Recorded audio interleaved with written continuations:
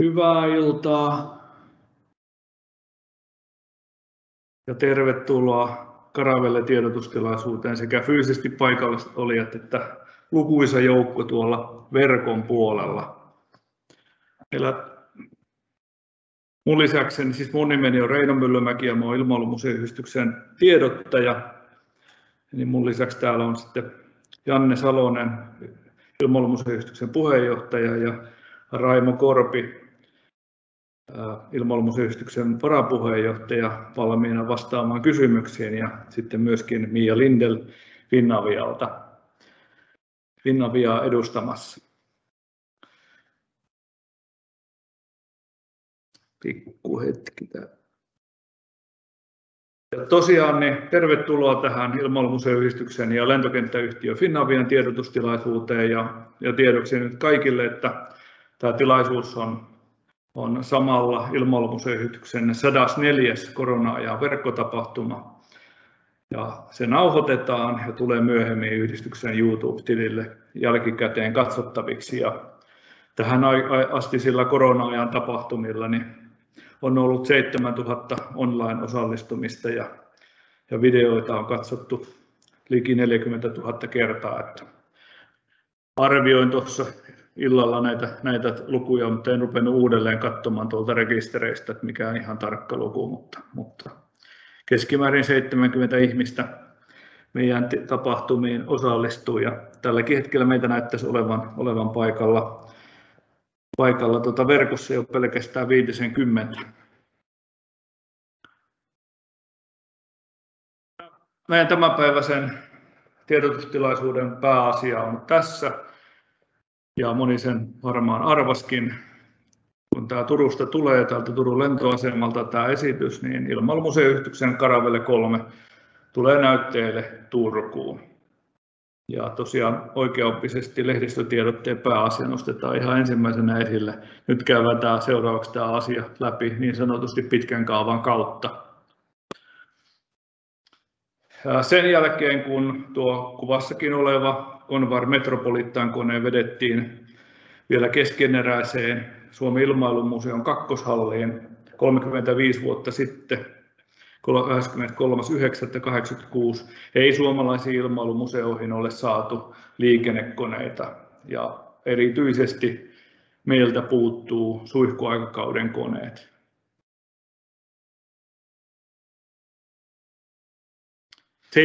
Suihkuaikakauden koneiden puuttuminen ei tarkoita sitä, etteikö näitä suomitaustaisia vanhoja liikennelentokoneita olisi yritetty saada Suomeen.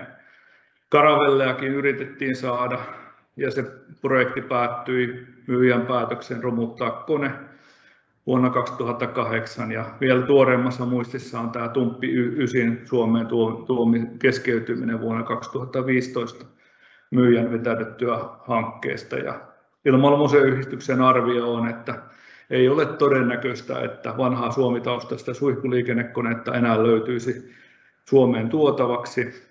Voi olla, että sellaisia jossain vielä, vielä on, mutta ne ovat yle, yleensä ottaen tuolla valtamerten takana ja hirvittävän kalli, kalliita tuoda Suomeen.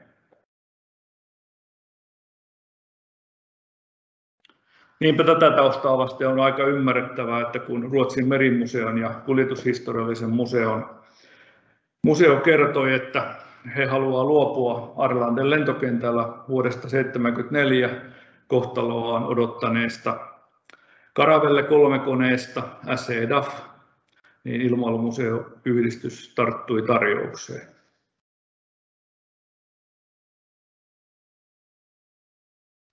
Ja perustettiin projekti koneen siirtämiseksi Suomeen ja asetettavaksi näytteille. Onhan tuo kone samaa tyyppiä, jolla Finnair siirtyi suihkuaikakauteen 1960-luvun alussa. Ja tuossahan on tuo äh, ilmailutaiteilija Kari Vertasen näkemys tuosta, tuosta ihan ensimmäisestä koneesta, Oholeasta, jolla, jolla tähän tähän suihkuaikakauteen Suomessa siirryttiin.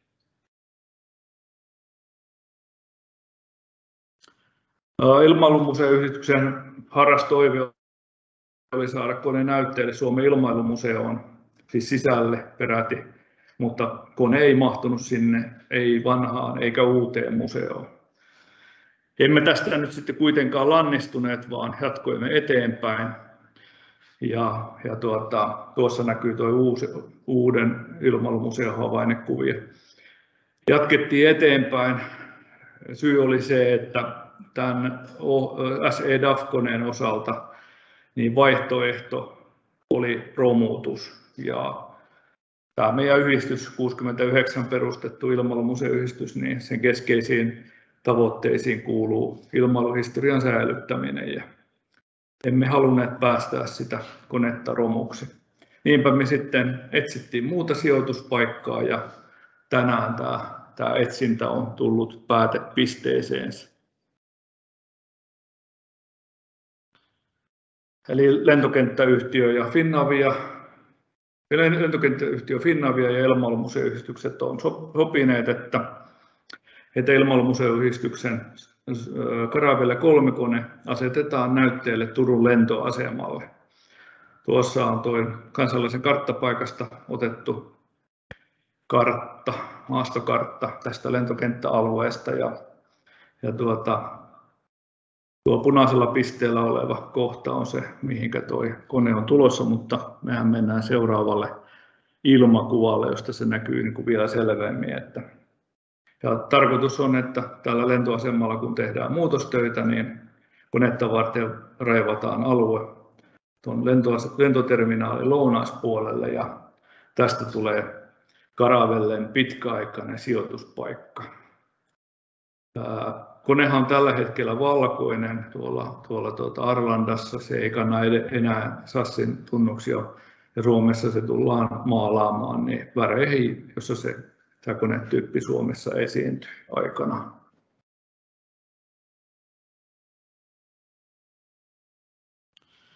No tuota, sijoituspaikan varmistumisen myötä niin tämä Karavelle-projekti oikeastaan lähtee kunnolla vasta liikkeelle. Ja kone tullaan kunnostamaan Turussa, joten sitä ei tulla viemään pääkaupunkiseudulle. Ja tämähän lyhentää siirtomatkaa Arlandasta 160 kilometrillä Tuossa nyt on tuo siirtoreitti kuvattuna kartalle, mutta Google Maps ei osaa, osaa mennä tuota Finlinesin reittiä pitkin tuolta Longnessin kautta, vaan, vaan tuota, Naantalin satamaan, vaan tekee, tekee tuolla turhia mutkia sekä Maariahaminassa että, että tuota, tuolla Turun satamassa, niin, mutta kuvanee kuitenkin tätä siirtomatkaa 330 kilometriä Google Maps antoi tuolle reitille pituutta ja siinä on pikkusen mutkia liikaa ja se on himpun verran vähemmän. Mutta tosiaan niin meidän käsitys on siitä, että Arlandasta se kuljetetaan tuonne, tuonne Kapelsääriin ja sieltä pitää laittaa lauttaan ja, ja, ja, ja kuljettaa Suomeen lauttakyydille ja sitten loppumatka taas niin menee, menee teitä pitkin. Tämä koronapandemia tässä on ollut pienenä hidasteena ja kun se nyt tässä näyttäisi hellittävän sekä Suomessa että Ruotsissa, niin päästään ihan sopimuksen mukaan vielä tarkastamaan tuo kone ja hyväksymään se. Ja sitten siitä pitää irrottaa aika paljon osia siirtoa varten, jotta se saadaan mahtumaan tietä pitkin ja, ja, ja laivoihin. Ja sitten saadaan se siirrettyä Suomeen. Ja Siirto toteutunee kesällä 2022. Sen tarkemmin, tarkemmin emme vielä tänä päivänä sitä osaa sanoa.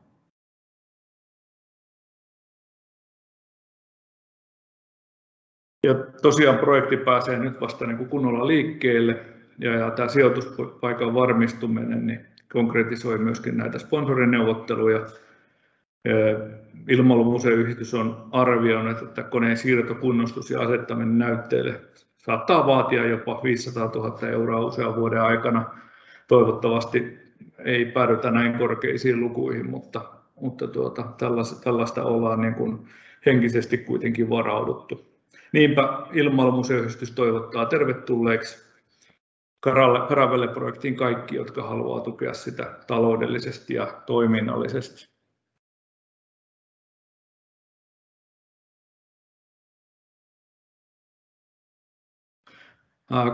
Konkreettisena muistutuksena Caravelle-projektista ja Caravelle 3-koneen sijoittamisesta Turkuun niin on tänään paljastettu Turun lentoasemalla. Niin tuota, näytteille asettava Caravelle-koneen osa, tämä Finnairin GE Telesis Engine Servicein ja Swissport Finlandin niin lahjoittama laskuteline on, on tuota, lahjoitettu viime kesänä ja, ja, ja, ja nyt tänään tuotiin tänne, tänne rapiat 500 kiloa painava laskuteline on nyt tuossa tuloaulassa niin ihmisten nähtävinä. Ja tästä tiedotuksesta tai tiedotuksen sisällöstä, lehdistötiedotteesta, niin lisätietoja ylipäätään hankkeesta löytyy tuolta Karavelle-projektin sivuilta ja, ja, ja, ja sitten Ilmailumuseyhdistyksen puolesta puheenjohtaja Janne Salonen on oikea henkilö ottamaan yhteyttä. Tai hänen voi ottaa yhteyttä, yhteyttä kysymyksissä. Ja kiitoksia tästä osuudesta. Siirrytään seuraavaksi kysymyksiin. Ja täällä nyt on Janne Salonen ja Mia Lindel, jolta voi kysyä. Ja on täällä myöskin Raimo Korpi, joka on ollut kokoamassa tätä Karavellen siirtoon tarvittavaa tekniikkaryhmää. Ja, ja tota, seuraavaksi mä tuota, avaan nämä mikrofonit. Se tarvitsee pienen niin kuin teknisen, teknisen homman. Eli joudun vähän vaihtamaan täältä, täältä tuota,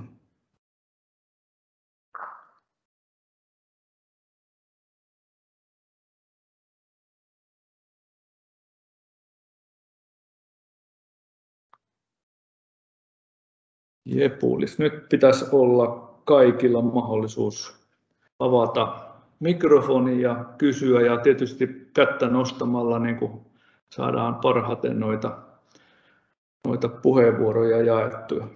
Olkaa hyvä.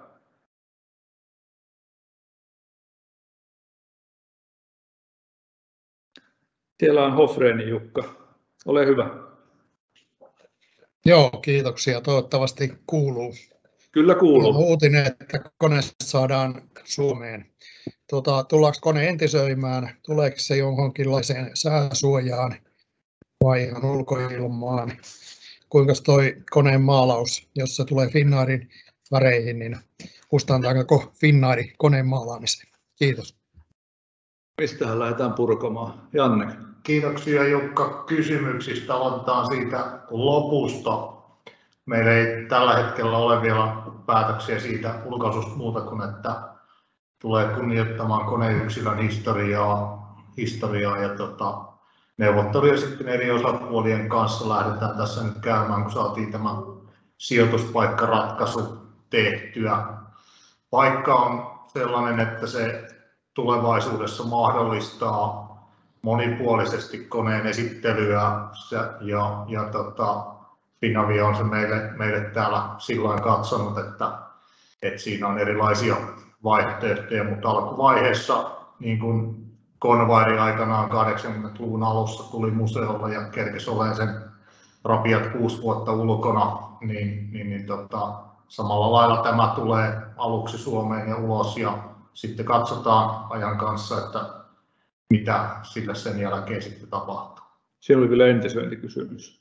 Öö, joo, entisöinnistä sitten tosissaan Turussa tullaan entisöimään mahdollisimman pitkälle. Katsotaan nyt tekniikan ryhmä toivottavasti ei tuhoa konetta Turussa, niin päästään vähäisellä entisöinnillä. Eli käytännössä purkaminen ja uudelleen kokoaminen koneessa on, on kuvien mukaan, niin kuin tuossa Reino kertoi, niin me ei ole päästy konetta kokonaan vielä näkemään, niin siinä on osittain uudistettu valkoinen maalaus ja, ja niin kuin nyt tuossa näkyvissä kuvissa teille näkyy, niin kyllä siellä tekemistä on sisällä sekä, sekä ulkona tuolle koneelle niin kuin pinnassa ja, ja syvemmälläkin. Ja tätä varten sitten Raimo kerää tätä tekniikan porukkaa ja, ja kiinnostuneita siihen, siihen tekemiseen, että, että aika monen vaahtopesu varmaan sille on jossain kohtaa ainakin edessä.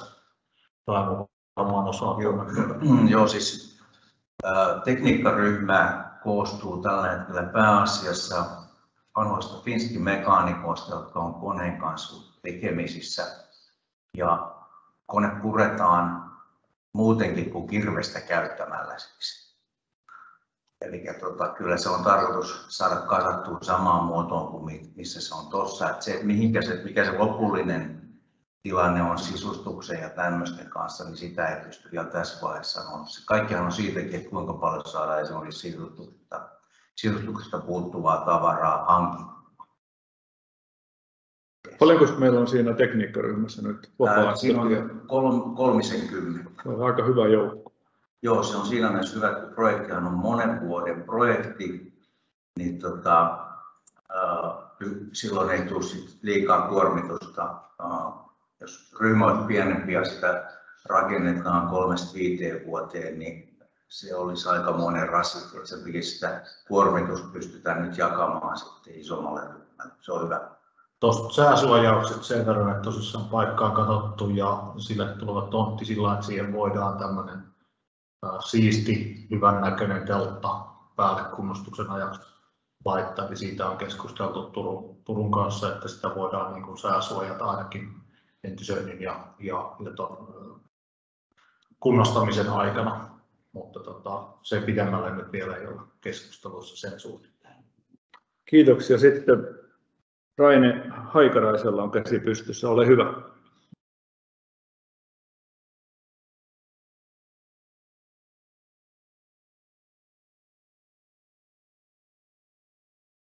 Raine Haikarainen, sulla on käsi pystyssä, ole hyvä. Päälle, joo. Joo, kiitoksia tätä tiedosta ja aikoinaan kuusi vuotta Turussa asuneena, niin ihan mielenkiintoinen uutinen. Turkulaiset ovat tunnetusti historiatietoista väkeä ja olisi mielenkiintoista tietää, että onko tuota kaupungin kanssa ollut mitään keskustelua ja onko heillä jotain ajatuksia, minkälainen tutustumiskohde tästä mahdollisesti voisi tulla? Tässä vaiheessa meillä on ollut keskustelukumppanina ainoastaan Turun lentoasemasta kautta Finavia. He sitten hoitaa yhteyksiä kaupungin suuntaan siitä varmasti tässä, tässä tulevassa vaiheessa, mutta tällä hetkellä niin kuin vielä ollaan aika pienellä piirillä liikkeellä, mutta varmasti tähän otetaan laajasti erilaista sidosryhmää täältä Turun kaupungin ja ympäristökuntien alueelta, että kaikki halukkaat varmasti pääsee mukaan ja on tämä melkoinen nähtävyys tuohon Turun kentän yhteyteen, että varmaan kahvimyynti lisääntyy kahvilassa, kun tuossa tota porukka tulee ihmettelemään ja, ihmettelemään ja katselemaan. Että tota... Ja eikö se kuitenkin tavoite ole, että se jollakin tapaa niin kuin nähtävissä se kone tai tutustuttavissa se kone jatkossakin? Joo, se on sillä semmoiseen paikkaan laitettu, että siihen pystytään, ei olla niin kuin Airside-alueen kanssa ja sen rajoitusten kanssa tekemisissä, vaan tuo, tuo paikka on, on landsidea ja, ja siihen voi niin helppo ja turvallinen sitten tota, ihmisiä ohjata odottaessaan lennolle lähtöä, niin, niin, niin tota, tai, tai jos odottaa vaikka lennolta hakemassa porukkaa, niin, niin voi tulla siksi aikaa sitten ihmettelemään vanhaa lentokonetta. Kiitos.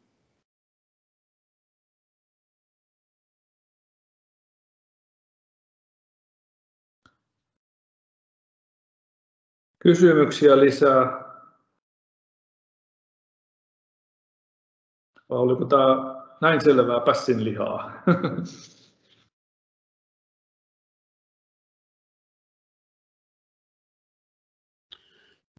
No jos kukaan muu ei kysy, niin tekee vielä mieli itse hieman jatkaa tuosta. Tuli mieleen, että kaikki me, jotka olemme käyneet Malagassa ja nähneet siellä kentän laidalla sen Karraarin väreihin maalatun vanhan konvairin, niin siinä on vähän niin vastaavanlaisesta artefaktista kysymys, eli, eli kone on tavallaan omittu tähän, tähän alkuperäisen operaattorin väreihin ja ilmeeseen, ja siitä on tehty tällainen tutust, niin kuin pedago, ilmailupedagoginen tutustumiskohde, ja mielenkiintoista, että miten esimerkiksi koululaiset ja muut siellä vierailee, eli, eli se ei ole ainoastaan niin yksi tämmöinen museokone, vaan samalla paikka, jossa voi tutustua liikenneilmailun sen historiaan ja, ja lentämiseen ja koneen aerodynamiikkaan ja tekniikkaan ja tuli mieleen, että joku siis tämän tyyppinen malli tämänkin karavellen kohdalla varmasti voisi olla erittäin hieno. Sitten tähän liittyy niin se, se kysymys, että onko ajatus, että ilmailumuseo jollain tavalla muutenkin voisi niin, olla, olla läsnä Turussa, eli onko teillä ideoita tai unelmia, että sinne tulisi tavallaan tämmöinen filiaali sivuosastossa olisi enemmänkin ilmailuhistorian näytteellä? Erotetaan ensimmäiseen tai jälkimmäiseen kysymykseen esittääkseen tiedostilaisuuden ilmailumuseon yhdistykset ei Suomen ilmailumuseon ja kone ei ole myöskään Suomen ilmailumuseon kokoelmaan tulossa, vaan, vaan säilyy ilmailumuseon yhdistyksen omaisuutena, jolloin se ei ole museoesine, jolloin siihen voidaan tehdä mitä mielikuvitus ja lompakko periaatteessa tuo esille. Meillä on semmoinen käytännön haaste tämän yksilön kanssa, että kuvassa oikealla yläreunassa näkyvä sisäkuva, niin siinä vaiheessa kun ne meille luovutetaan, niin kaikki nuo paneelit ja hattuhyllyt tuossa nyt kuvassa näkyvältä oikealta seinältä, eli katsotaan ohjaamon päin, niin oikean puolen seinusta on purettu kaikki paneelit ja luovutettu toiselle karavellelle Tukholman tai Arlandassa, joka on siis tämä Caravelle Clubin kone, josta suuri osa noista paneeleista ja hattuhyllystä on pouttunut, koska se yksilö on ollut Ruotsin puolustusvoimien tiedustelukoneena ja ne materiaalit on aikanaan sieltä poistettu, kun siihen on pantu ne tiedustelulaitteet tuolle oikealle sivustalle paikalleen, niin tämä kone toimii niiden osalta lahjoitus yksilönä vähän niin kuin elinluovuttajana sille, sille tota, toiselle tosissaan Karavelle klubin koneelle. Ruotsalaisille jää vielä sen jälkeen kaksi Karavelle, josta toinen on Linköpingissä oleva täysin varusteltu tiedusteluversio, jossa, jossa nämä kaikki tiedustelulaitteet ja muut on viimeisen päälle sekä sitten yksi, yksi harjoittelulaite niin sanotusti tuonne lentoaseman alueelle Arlandaan, jossa näitä, näitä tota, lentokoneen käsittelijöitä koulutetaan nokattomalla karavellella. Mutta just tämä meidän kone periaatteessa niin mahdollistaa sen, että, että vain niin kuin mielikuvitus on rajana siitä, että mitä tuolla sisällä voi olla. Eli hyvin pitkälti ajatukset on samanlaisia kuin siinä Malakan konvairissa, että sillä olisi tämmöistä pedagogista mahdollisuutta tai vaikka pitää taidenäyttelyä tai mitä nyt sitten tuo tila ikinä mahdollistaakaan. Eli, eli tota, meillä on niin kuin melko, sanotaanko, vapaat kädet miettiä, että, että mitä, mitä siellä sisällä voi olla. Että jonkun verran sitten paloturvallisuusmääräykset ja, ja tämmöiset yleisöturvallisuusmääräykset rajoittaa sitä, että mitä siellä voi tai ei voi olla. Mutta niin, niin tavoitettavuus pyritään tekemään mahdollisimman hyväksi, mutta ei voida tietenkään luvata, että se olisi ympärivuorokautisesti tavoitettavissa. Se, se riippuu sitten monista muista asioista, mutta, mutta tota, esimerkiksi kesämatkailukohteena voisi olla muutaman vuoden päästä erittäin hyväkin vaihtoehto tälle seudulle. Siinä oli vielä kysymys tästä ilmailumuseon paikallisfiliaalista. Joo, se oli oikeastaan jatkokysymys siihen. Tietysti me emme vastaa niin kuin Suomen ilmailumuseon tilan kysymyksistä sinällään, mutta Ilmailumuseoyhdistys on tietysti omalla toimintanaan katselee silmät auki, mitä, mitä maailmalta ja Suomesta tiloja löytyy, mutta, mutta sitten ää, kuka tietää, mitä, mitä täällä joskus näytteillä on, mutta, mutta tosissaan Suomen ilmailumuseo sitten tiedottaa omat tilahankkeensa ja laajenemisensa tai supistamisensa meistä riippumatta. Selvä. Hoffrenin Jukalla käsi pystyssä. Ole hyvä Jukka. Joo, kiitos. Kone on sinällään sisältö aika karussa kunnossa, että ilmeisesti aika tavalla tavaraa ja erilaisia laitteita tarvittaisiin. Oletteko selvittäneet, että onko näitä vielä saatavissa ja kuinka tämmöinen entisöinti sitten olisi mahdollista ihan näiden niin tota, puuttuvien osien suhteen. Että tämä tietysti on vähän kiva tietysti, että on niin tota, ulkokuori on kunnossa, mutta että se toimisi jonain tällaisena matkailuvalttina ja myöskin opetustarkoituksessa, niin kyllähän tässä olisi aika paljon tehtävää. Kiitos. Kiitos Jukka. joo, meillä on luvattu noin 20 kuormalavallista, siis eurolavallista erilaista materiaalia tähän koneeseen liittyen, jota nyt ruotsalaiset on kohta koko korona-ajan käynyt läpi ja yrittänyt saada listaa aikaiseksi vielä siinä onnistumatta. Kunhan päästään itse käymään niitä lavoja läpi, niin varmaan sieltä löytyy niin kuin esimerkiksi ohjelmavarusteita ja muuta tavaraa suhteellisen paljon. Sen lisäksi Ruotsissa on tosissaan, kun siellä on useampi karavelle, niin siellä on erilaista materiaalia ja karavelle klubi on luvannut meille kaikkia sitä materiaalia, mitä heillä on enemmän kuin yksi kappale hyllyssä olemassa. Eli, eli tota, osin paikoin varmaan saadaan hyvin materiaalia ja, ja noin ikään sitten ollaan toki tietysti siinä tilanteessa, että kun ei ole, niin sitten pitää joko tehdä taitavasti tiistai-kerhon käsillä esimerkiksi tai jonkun muun porukan myötä, mikä ettei tänne Turkuunkin voisi vaikka joku harrastaja porukka sitten laajemmin yhtyä, joka, joka sopivissa tiloissa jotain materiaalia sitten koneeseen valmistaisi. No siis tosiaanhan tässä on niin mielikuvitusraja ja lompakko tosiaan rajana, mitä tuolle koneelle voi tehdä. Ja, ja tuota, ainakin mulle elävästi on tullut mieleen, että on koneen käyttäminen esimerkiksi elokuvan teossa niin, niin, niin, niin tota, se vaatii sitten kanssa noita sisätiloilta niin, että, että tota, ei se toinen puoli koneesta voi olla ilman, ilman verhosta. Joo, mutta saattaa myös helpottaa elokuvan filmaamista, kun siellä ei ole molemmin puolin penkkejä, niin kuin esimerkiksi Convairissa Vantaalla, josta ei voi noin vaan mennä sanomaan, että otetaanpa siitä toisen puolen penkin pois ja tehdään elokuvaa. Jukalla käsi pystyssä ole hyvä.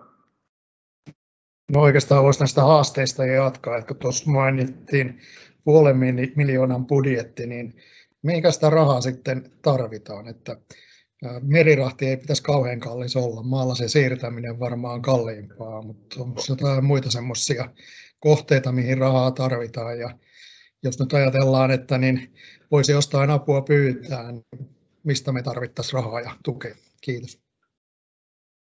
Kiitos Jukka, hieno kysymys. Tosissaan jo budjetti on, on tuon näköinen kuin se tällä hetkellä on. Sitä ei nyt vielä lähdetty viilaamaan suuntaan eikä toiseen. Suurimmat kustannukset tulee olemaan kuljetus Suomeen kokonaisuudessaan. Se on yksi osa, oikeastaan yksi kolmasosa melkein budjettia, mitä on arvioitu kaikkineen purkuryhmän kuluissa lukuun ottamatta palkkoja, kun vapaaehtoisesti tätä tehdään, niin palkkoja ja palkkioita ei makseta, mutta, mutta tota, erilaista ammattiosaamista pitää ostaa kuljetusliikkeistä alkaen. Ja nyt tietysti niin kun, kun on matsiirto lyhenee 160 kilometriä, niin toivottavasti myös tähän mennessä saadut tarjoukset pienenee siinä suhteessa, kun ajomatka Suomessa vähenee. Eli, eli tota, meillä on tietysti ollut tiettyjä lähtötilanteita, niin kuin tuossa kerrottiin, että tavoite oli saada Vantaalle ja Suomen ilmailumuseon sisälle joko uuteen tai vanhaan, ja niistä oli tiettyjä arvioituja kustannuksia alkuperäisessä budjetissa. Nyt näitä kaikkia sitten päästään vertaamaan uudestaan, mutta, mutta tota, ihan ilmaiseksi tuo ei Ruotsista tule, että ellei sitten löydy sellaista mesenaattia, joka sanoo, että lähettäkää laskut johonkin osoitteeseen, eikä tarvitse välittää kuluista, mutta Toki me mielellämme semmoisen osoitteen otamme vastaan, jolloin, jolloin tota, meidän ei tarvitse budjetoida tähän hankkeeseen mitään. Mutta tota, hyvällä yhteistyöllä, hyvällä keskinäisellä yhteistyöllä eri toimijoiden kanssa kaikki kiinnostuneet varmasti otetaan mukaan ja yritetään saamaan näkyvyyttä eri tahoille eri lailla, että, että se, että miten, miten kukin sitten toimii. Rahankeräyslupa meillä on poliisilla sisässä. Sen arvioitu käsittelyaika on neljä kuukautta, joten jonkun aikaa tässä joudutaan vielä odottamaan, että saadaan lipas esimerkiksi tuohon Turun lentoaseman aulaan laskutelineen viereen laittaa, että sitä poliisi ei luvannut siihen laittaa, vaikka, vaikka tuossa kuinka kyselin, että ei voisi ilman lupaa kerätä, niin sitä ne ei oikein pitänyt hyvää. Ei, ei lähdetä sille tielle, niin joudutaan hetken aikaa odottelemaan sen puolesta mutta haluttiin nyt kuitenkin tämä tiedostilaisuus heti pitää, kun, kun asiat saatiin ratkenemaan, jotta sitten muulla lailla voi olla sponsori toiminnassa mukana. Tota, oliko siinä vastauksia kaikki? Siinä oli varmaan vastaus tuohon kysymykseen, mutta, mutta sanopas Janne, milloin tämä ratkesi? Uh, milloin paikka ratkesi? Tämä ratkesi keskiviikkona iltapäivällä, oikeastaan alkuilta oltiin pienellä porukalla Mäntsälään menossa, kun saatiin lentoasemajohtajalta viimeinen vihreä sähköposti ja sen jälkeen tämä on niin pistetty pystyyn nyt sitten ajassa kahdessa vuorokaudessa. että siitä, siitä lämmin kiitos sekä Raimolle että Reinolle ennen kaikkea. Paljon on, paljon on tunteja tehty muutenkin tässä parin viime vuorokauden aikana ja tähän vielä oma osansa. Toki tiettyjä asioita on valmisteltu jo aikaisemmin, mutta keskiviikkona iltapäivällä tämä on sovittu ja tänään nyt päätettiin näin museoviikon aluksi, että tästä on hyvä museoviikko aloittaa sitten tällä tiedotustilaisuudella. Mä otin tämän sen takia puheeksi, että meidän viimeisessä vuosikokouksessa penättiin sitä, että hallitus niin mahdollisimman nopeasti tiedottaisi asioista, niin ei tätä kai kauheasti nopeammin pysty, pysty tiedottamaan kuin niin. mitä me ollaan nyt tehty tässä. Toinen vaihtoehto pitäisi keskiviikko-iltana tiedotustilaisuus, mutta se haluttiin tähän museoviikon alkuun, että se nyt sitten jäsenistö joutui sen kaksi vuorokautta odottamaan siitä, kun lopullinen päätös oli tehty. Siellä on Timo P. käsi pystyssä, ole hyvä. Joo, kiitoksia. Mä anteeksi vaan pääsin mukaan vasta, vasta myöhässä tähän ja varmaan Janne tämän asian käsitteli siinä alussa ja, ja, sen takia kysyn tätä niin kuin tyhmänä kysymyksenä, että onko tämä kone tarkoitus jäädä Turkuun vai onko se vaan tarkoitus olla sellainen sijaintipaikka, missä sitä kunnostetaan? Koska tota, tämä ei ainakaan tänä aikana ollut, ollut esillä, mitä mä oon tässä ollut mukana. Kiitos. Toistaiseksi olemme sitoutuneet Turkuun, mitä se toistaiseksi sitten tarkoittaa. Se on sitten jokaisen mietittävissä ja pohdittavissa, mutta meillä on tällä hetkellä erittäin hyvä yhteistyö Turun lentoaseman kanssa alkamassa ja osin jo tässä alkanut. Tänään tosissaan tuohon aulaan tuotiin jo ensimmäinen pala karavelle, eli Finnaarin äh, tekniikan kautta saatu laskuteline Karavellesta on, on siellä jo kaikkien lentomatkustajien ihailtavana tällä hetkellä ja, ja tota, lähtökohtaisesti niin kunnostus kun, kun näytteläpito on Turussa ja mitään deadlinea sen kummemmin ei ole olemassa siihen, että täältä joskus pois mentäisiin, että tota, ei, ei ole semmoisia suunnitelmia. Nyt, nyt iloitaan tästä, että ollaan täällä ja, ja sitten katsotaan, miten maailma kulkee eteenpäin. Ja paikkahan on näyttävä ja, ja, ja, ja hyvä näköalapaikka paikka tuossa punaisen täplän kohdalla kartalla tai ilmakuvalla anteeksi. Ja sillä on, vaikka on mitoitettu sillä että siihen voi joko laittaa teltan päälle tai rakennuksen päälle, että tota, on ennenkin rakennuksia rakennettu lentokoneen päälle esimerkiksi se, se tota, Convairin nykyinen kakkoshalli suurin piirtein sillä mallilla, että, että toki siinä, siinä rakennuksen rakentamisen aikana kone ei ollut rakennuspaikalla, vaan hilattiin sisään, mutta varmaan Turun lentokenttä sitten rakentaa sen verran enemmän hiekkakenttää tai pohjaa tuohon meille, että voidaan joskus rakentaa talo päälle, jos, jos siltä tuntuu. Rahoitusta löytyy. Rohkeasti kysymyksiä. Se on jollakin käsi pystyssä. Tuire, ole hyvä. Joo, minua vaan kiinnostaa tietää sellainen asia, että tuota, määräytyykö koneen rekisteritunnus miiteen tai uusi tunnus, jos se laitetaan suomalaisiin väreihin, että meneekö se tuon laskutelineen mukaan, mikä on saatu Finnaarilta vai, vai tämä on ihan vaan tämmöinen humoristinen kysymys. Kun no, toi laskuteline on itse asiassa tarkasti ottaen superkaravelle-koneesta mun tietääkseni, ei, ei tästä höyrykaravellesta, mikä tänne tuodaan. Ja, ja tuota, tuossa itse asiassa tuossa Kari Vertasen maalauksessa, niin, niin, tuota, niin siinä itse asiassa on, on todennäköinen kannanotto siihen, että, että mikä tästä koneesta ehkä, ehkä voisi tulla. Että, että tuota, jos ajatellaan niin kuin sillä tavalla, että kysymys on kuitenkin niin kuin siis Scandinavian Airlinesin niin SEDAP-koneesta, niin, niin jos katsotaan vihan niin kuin suurennuslasilla, niin täsmälleen samanlainen kone on se Finnaarin neljäs Karavelle, joka, joka alun perin on rakennettu Karavelle kolmosen Eli nämä kolme ensimmäistä oli Caravelle 1A-mallisia, jotka myöhemmin muunnettiin Caravelle 3. Mutta tuota, eli sillä tavalla se olisi niin kuin OHLED, mutta tuota, eiköhän mulla on se hurja veikkaus, että, että tuota, koneesta tulee niin tuo ihan ensimmäinen, eli Lea. Mitä sanoo Janne asia? Nyt en varmaan lähde tässä kohtaa sanomaan sen enempää, mutta siis identiteettejä voi olla useampia.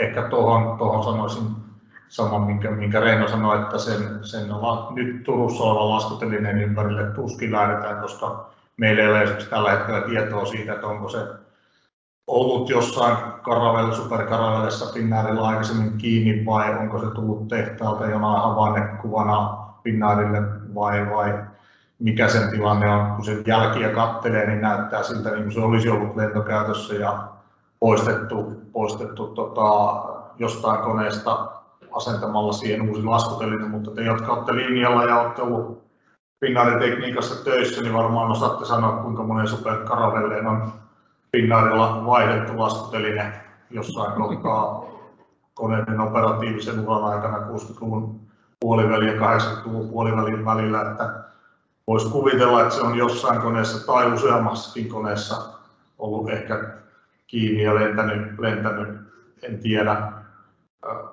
Identiteettikoneelle on yksi, yksi mielenkiintoinen asia tässä tulevina kuukausina ja vuosina, miltä se näyttää ja mihin asuun se tullaan laittamaan. Se vaatii ensistäänkin keskusteluja eri, eri lentoyhtiöiden ja muiden edustajien kanssa, että mikä on heidän näkemyksensä siitä, että tämmöinen kone sitten Turun lentoasemalla on esillä ja miten he näkevät oman lentoyhtiönsä vaikka markkinoinnin kannalta sen, että siellä on jonkun jossain ulkoasussa se. Voi se hyvin olla, että järjestetään joku ulkoasukilpailu sille, jossa se on sitten jostain muussa ulkoasussa, mutta lähtökohtaisesti meidän tavoite on tietysti kansallisen lentoyhtiön värit, mutta, mutta me emme voi maalata sitä ihan noin vaan omaksi huviksemme heidän väreihin ilman, että ollaan heidän kanssa asiasta keskusteltu. Selvä. Täällä on sitten kysymys, kirjallinen kysymys, että onko mekaanikoilla karavelle lupakirja taustaa? On suurin osa. Ei suurin osa, osa ilmoittautun, vapaaehtoiseksi ilmoittautuneista niin, niin henkilöistä on, on, on mekaanikkoja ja suurimmalla osalla on vielä karavelle, karavelle tausta. Ei ole kellään enää lupakirja voi. Ei ole tunnissa, mutta mutta harmaa kartassa on kuitenkin hyvässä tämmissä. kyllä, kyllä.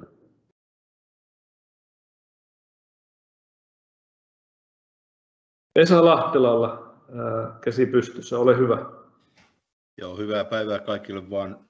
Olen kylläkin aika lailla maalikko, mutta tuli vaan mieleen, kun tässä varmaan tällaisen projektin onnistuminen rahoituksessa on niin vähän myöskin julkisuuskysymys, niin siitä kuljetuksesta voisi saada aika näyttävän tällaisen, niin kuin, kun se kunnolla dokumentoidaan, niin jopa, en tiedä, jollekin kaupalliselle TV-kanavalle vaikka tuollainen niin dokumenttiohjelma, että Karavelle palaa Suomeen tyyliin. Joo, kiitoksia kysymyksestä. Toki olemme jo tiettyjä tahoja kontaktoineet projektin alkuvaiheessakin jopa ja, ja tietysti siinä kohtaa keskustelut piti sitten katkaista, kun ikään kuin ei ollut mahdollisuutta tai, tai tällaista näkyvyyttä kuin tällä hetkellä, jotta voidaan sanoa, että mihin kone tulee ja koskee ja pääsee sitten niin keskustelemaan, mutta maailmallahan on iso, iso osa TV-dokumentteja tehdään megamuutoista ja milloin, milloin mistäkin, että kyllä ainakin henkilökohtainen toiveeni on, että tällä keissillä päästään johonkin megamuutot ohjelmaan osaksi ja vaikka tehtäisiin koko vuoden mittainen sarja siitä, että miten, miten, tota, miten tämä tehtiin ja, ja niin edelleen. Et en usko, että jos teillä on kuulijat hyviä kontakteja tuotantoyhtiöihin ja niissä vaikuttaviin ihmisiin, niin ilman muuta viekää sanaa eteenpäin, että tämmöinen megamuutto on ensi kesänä tulossa ja, ja siihen, siihen dokumentointiin otetaan mukaan. Ja maailmalla kun katselee vastaavan kokoisten koneiden siirtoja, niin kyllä siellä on osattu mainostilaa myydä hienosti sen muuton, to, niin muuton toteuttajasta kuin sen sponsoreista, että kyllä siellä aikamoiset lakanat on koneen osien ympärillä tai, tai laatikoiden ympärillä, millä se sitten ikinä onkaan tuotu. Ja, ja tämän kokoisia koneita nyt jopa on viime, viime aikoina meidänkin esityksessä nähty, että että tota, nosturilla kiinni ja nostellaan ja pyöritellään, jos vaikka minkä näköiseen asentoon sitten, sitten tota, vaikka siivet ja osat kiinni, niin tänä päivänä tuo tekniikka on mennyt huimasti eteenpäin monessakin mallissa, mutta tota, vielä Kiinalla odotetaan ja otetaan vastaan yhteydenotto. Joo, siis kyllähän tämä poikkeuksellinen siirto tulee joka tapauksessa olemaan, vaikka tuolla kun noita, kuuntelee noita liikennetiedotuksia, niin tuntuu, että erikoiskuljetuksia on tuolla jossakin Raahe ja Pihtiputan välillä koko ajan, eli tuulivoimaloita kuljetetaan. Tota noin, niin, niin, niin, kyllä tästä vähän sen tyyppinen hankehan tämäkin on, ja, ja, ja tietysti vaan niin kuin poikkeuksellinen esine, eli vanha lentokone kyydissä 20 mitä kolme tonnia tyhjä paino. En tiedä paljonko se painaa riisuttuna, mutta tuota, niin kuin lentokoneet on tyypillisesti aika kevyitä kuljetettavina tuohon kokoon nähden, että se on se, se ne fyysiset mitat on niin se pahempi, pahempi juttu. Tässä ihan viime aikoina on kokemusta jopa Suomen teillä liikkuneesta lentokoneesta, niin kun Finnaarin Airbussia veivät romutukseen ja, ja tota, mutta että meidän tietojen mukaan olevat meidän keskeisimmät kuljetuksen rajoitukset liittyy Ruotsiin ja Ruotsin tieliikennelakiin, jossa meidän tietojen mukaan ylisuuret esineet tulee viedä lähimpään satamaan tai tarkoituksenmukaiseen satamaan. Ja meidän tapauksessa se on nyt sitten kapellesääri. Eli me emme voi tätä kuljettaa maata pitkin Tornionjokilaakson kautta, vaikka se olisi kuinka näyttävä ja mielenkiintoinen projekti ajaa ympäri, ympäri Pohjanlahden ja, ja sitä kautta tuoda näkyvyyttä projektille, että niin siinä tulee Ruotsin tieliikennelaki vastaan, joka, joka sanoo, että tämmöistä ylileveitä, ylikorkeita kuormaa ei saa lähteä kiskomaan, niin kuin, joka myöskin oli yksi syy sitten siihen, miksi, jos joku miettii, että miksei tätä sitten Ruotsissa siirretty niin kuin vaikka Arlandasta Westerosiin tai Arlandasta Linköpingin tai muuta vastaavaa, eli heillä siellä niin kuin, he olisi joutunut ajaa sen edelleen niin kuin kapelsääriin ja ottaa siitä jonkun laivan ja viemään sen niin kuin sisäisesti lähimpään Ruotsin jäsensatamaan ja luettaa sieltä. Eli heillä oli vastaava siirto edessä noin 10 vuotta sitten, kun he siirsi sen tiedustelu kolmosen sinne Linköpingiin tuolta, tuolta tota, Ruotsin rannikolta, niin he joutuivat tuomaan sen aika pitkälle vesireittiä pitkin ennen kuin sitten pystyivät vasta lähellä Linköpingiä tuomaan sen sitten, sitten tota, moottoritietä pitkin.